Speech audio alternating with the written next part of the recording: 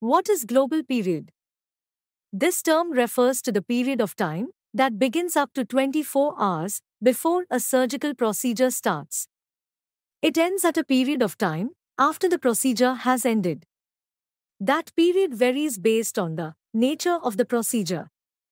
Depending on what type of surgery is performed, there may be a follow up period, during which follow up care is included in the payment for the procedure and not separately payable.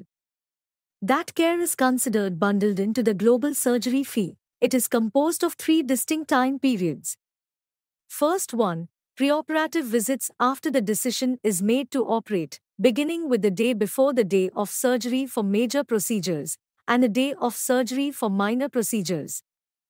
Next is intraoperative services that are essentially the surgical procedure itself, and third one, postoperative care that begins at the end of the operation and continues in the recovery room and throughout the hospitalization and outpatient period. The global period may be 90, 10, or 0 days. A major surgery has a global period of 90 days, and a minor surgery has a global period of either 10 or 0 days. Point to analyze when claim denied as globally inclusive to surgery. The claim denial date? When was the main surgery performed? And what is the global period? Find out the global period range, starting from main surgery, date, and calculate end date by adding global period time to main surgery date. Check if the date of service lies between the range. If yes, then verify fax number, claims mailing address to send appeal. Verify timely filing limit for submitting an appeal, and get claim number and call reference number.